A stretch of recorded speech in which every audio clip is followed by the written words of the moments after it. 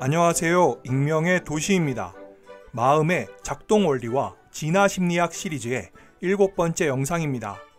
영상을 시청하시기 전에 구독과 좋아요 부탁드립니다. 이 시리즈의 영상들을 모두 시청하셨다면 여러분들에게 뇌의 기본 활동은 정보 처리라는 개념이 쉽게 이해될 것이라고 생각합니다.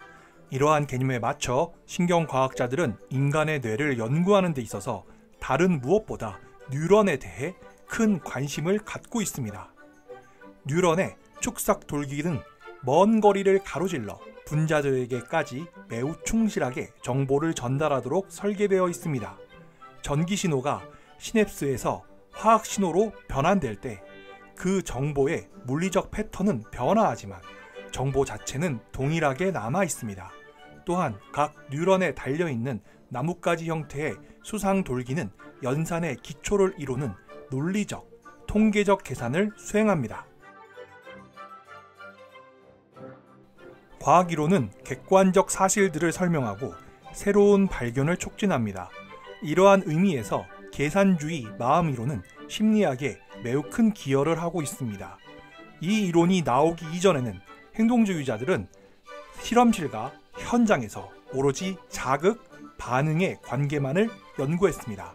따라서 심리학 교과서는 생리심리학, 지각, 학습, 기억, 지능, 성격 등으로 구성되었습니다.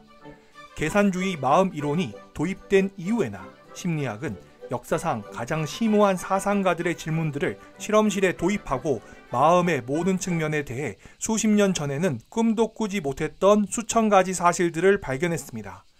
이러한 발전은 바로 마음 표상의 형식 그리고 그 표상에 접근하는 과정들을 발견하는 문제를 통해 이루어졌습니다. 철학자 플라톤은 우리가 동굴에 갇혀 있으며 단지 동굴 벽에 비친 그림자를 통해서만 세계를 알 수 있다고 말했습니다. 이를 비유하자면 동굴은 우리의 두개골이고 그림자는 마음 표상입니다. 우리가 세계에 대해 알 수 있는 것은 내적 표상에 담긴 정보가 전부입니다. 마음 표상을 확인하는 일은 심리학적 엄밀함에 이르는 필수 조건입니다. 그런데 우리가 접하는 행동에 대한 많은 설명들이 허황된 느낌에 그칠 때가 있습니다. 예를 들어, 왜 사람들은 이 과제보다 저 과제를 더 어려워할까요? 그 과제가 더 어렵기 때문입니다. 왜 사람들은 이 사물과 저 사물에 대한 어떤 사실을 일반화할까요? 두 사물이 비슷하기 때문입니다. 왜 사람들은 이 사건이 아니라 저 사건에 주목할까요? 그 사건이 더 중요해 보이기 때문입니다. 이런 설명들은 사기에 불과합니다. 왜냐하면 어려움, 비슷함, 중요함은 보는 사람의 마음에 있기 때문에 이 역시 우리가 설명해야 하기 때문입니다. 컴퓨터는 30자리 숫자보다 영화 어벤져스 엔드게임의 줄거리를 더 어렵게 기억하지만 우리는 30자리 숫자를 기억하는 것을 더 어려워합니다. 우리는 공처럼 동그랗게 구겨진 동일한 광고지 두 장이 완전히 다른 형태를 띠고 있어도 그 둘을 비슷하다고 보는 반면 두 사람의 얼굴은 거의 비슷해도 서로의 차이점을 발견합니다. 밤하늘의 별을 보고 이동하는 철새에게는 밤 시간에 따라 변하는 별자리가 아주 예민하게 감지되지만 보통 사람의 눈에는 거의 감지되지 않습니다. 앞에서 이야기했던 일반화는 마음이 마음 표상을 사용한다는 사실을 보여주는 가장 확실한 증거일 것입니다. 철자의 끝부분을 멋들어지게 구부린 새로운 장식체를 읽으려면 어느 정도 시간이 걸린다고 가정해 봅시다. 몇 개의 단어로 연습을 하고 나면 다른 활자체를 읽을 때처럼 빨리 읽게 될 것입니다. 이제 당신이 연습한 단어 목록에 들어있지 않았던 낯 익은 단어, 예컨대 코스모스라는 단어를 본다고 가정해 보겠습니다. 이때 우리는 그 단어가 명사라는 것을 다시 학습해야 할까요? 아니면 그 단어를 어떻게 발음해야 하는지를 다시 학습해야 할까요? 그 단어의 지시 대상이 우주라는 것을 다시 학습해야 할까요?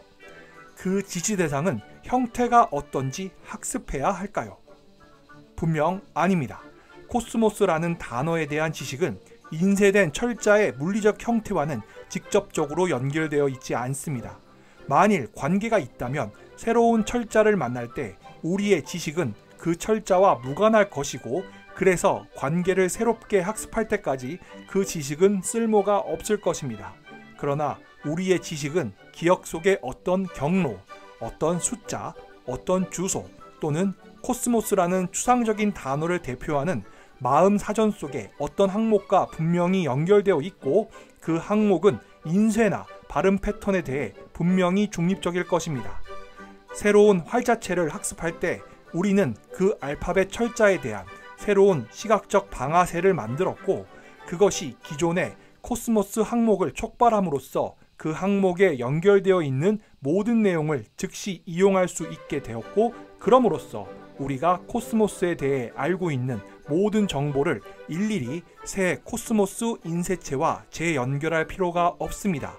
이러한 방식으로 우리의 마음에는 단지 인쇄된 단어 패턴이 아니라 각각의 추상적인 단어 항목과 고유하게 연결된 마음 표상들이 담겨 있는 것입니다. 이러한 도약 그리고 그와 관련된 내적인 표상들의 목록은 인간의 인지가 보여주는 뚜렷한 특징입니다. 만일 스페이스가 코스모스의 또 다른 이름이라는 것을 학습한다면 당신은 코스모스라는 단어와 연결되어 있는 모든 사실들을 즉시 스페이스로 옮깁니다. 물론 지식만 옮겨짐으로 스페이스가 코스모스처럼 발음되리라고는 누구도 기대하지 않을 것입니다. 이것은 당신의 마음에는 단지 단어 자체가 아니라 단어의 이면에 놓인 개념의 특징인 표상의 차원이 존재한다는 것을 의미합니다. 코스모스와 관련된 사실들의 지식이 그 개념에 매달려 있고 코스모스와 스페이스라는 단어가 그 개념에 매달려 있으며 COSMOS라는 철자와 코스모스라는 발음은 코스모스라는 단어에 매달려 있습니다. 지금까지는 활자체로부터 스케일이 커지는 방향으로 이동했다면 이번에는 스케일이 줄어드는 방향으로 이동해 보면 활자체를 흰 종이 위에 검은 잉크로 학습했다고 해도 파란 종이 위에 흰 잉크로 쓰여진 활자체를 다시 학습할 필요는 없습니다. 파란 종이 위에도 표상의 시각적 경계가 드러나기 때문입니다. 다른 색과 인접해 있으면 어떤 색이라도 표상의 경계로 보이고 경계는 자획을 규정하고 자획의 배열은 문자나 숫자를 구성합니다.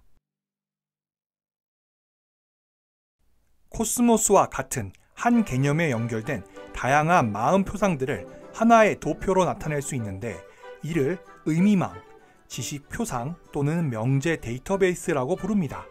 이것은 우리의 머릿속에 들어있는 방대한 멀티미디어 사전, 백과사전, 그리고 사용설명서의 일부분입니다. 우리의 마음속에는 이렇게 겹쳐진 표상 층위들이 가득 존재합니다. 예를 들어 여러분들이 어떠한 글자체로 코스모스라는 단어를 쓸 수 있고 그것을 오른손으로 혹은 왼손으로 쓰든 발가락으로 모래 위에 쓰거나 연필을 입에 물고 쓴다고 해봅시다. 글씨는 엉망이라고 해도 알아볼 수는 있을 것입니다. 글씨를 엉망으로 쓴다고 해도 각 글씨체의 자액을 다시 학습할 필요가 없을 것입니다. 이런 것이 가능하려면 표상의 차원이 단지 글을 쓰기 위한 근육 수축이나 팔 운동이 아니라 기하학상의 궤적을 지정하는 운동신경에까지 확장되어야 합니다. 마음 언어의 순열 조합, 그리고 여러 부분들로 구성된 또 다른 표상들의 순열 조합은 인간의 사고와 행동의 무한 레퍼토리를 설명합니다. 다시 말해 몇 개의 요소들과 그 요소들을 조합하는 몇 개의 법칙이 있으면 헤아릴 수 없이 많은 표상들이 생성될 수 있습니다.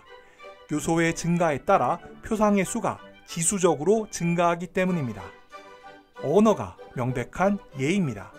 한 문장을 시작할 수 있는 첫 단어로 10개 중 하나를 선택할 수 있고 두 번째 단어로 10개 중 하나를 선택할 수 있고 세 번째 단어로 10개 중 하나를 선택할 수 있다고 가정하고 계산해 보면 20개 정도의 단어로 이루어진 문장의 수는 10에 20승이 됩니다.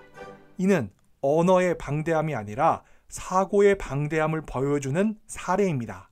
따라서 말로 나타낼 수 없는 생각 외에도 우리는 수천, 수만, 수억 개의 말로 나타낼 수 있는 생각들을 품을 수 있습니다. 생각할 수 있는 구조물들의 방대한 조합은 인간 활동의 여러 분야에서 발견됩니다. 철학자 존 스튜어트 밀은 젊은 시절에 음표의 수가 유한하고 이와 더불어 악곡의 실제 길이도 유한하기 때문에 곧 멜로디가 바닥날 것이라고 예측하고 놀라워했습니다. 그 당시에는 브람스, 차이콥스키, 라흐마니노프, 스트라빈스키가 태어나지도 않았고 당연히 재즈, 브로드웨이 뮤지컬, 컨트리, 로큰롤, 삼바, 레게, 펑크 음악도 출현하지 않았습니다. 그러나 앞으로도 멜로디의 고가를 겪지 않을 것입니다. 비록 장르는 바뀔 수 있겠지만 말입니다. 왜냐하면 음악은 조합이기 때문입니다. 한 멜로디의 각 음표가 평균 8개의 음표에서 선택될 수 있다고 한다면 2개 음표는 64쌍이 되고 3개 음표의 모티브는 512개, 4개 음표의 작은 악절은 4096개가 되어 결국에는 헤아릴 수 없이 많은 멜로디가 나올 수 있다는 계산이 가능합니다. 많은 심리학자들은 그들의 연구를 통해 우리의 머릿속에 있는 데이터 표상에 대한 많은 것들을 밝혀내었습니다. 그들의 연구에 의하면 인간의 뇌가 최소한 4가지의 주요한 표상 포맷을 사용한다고 합니다.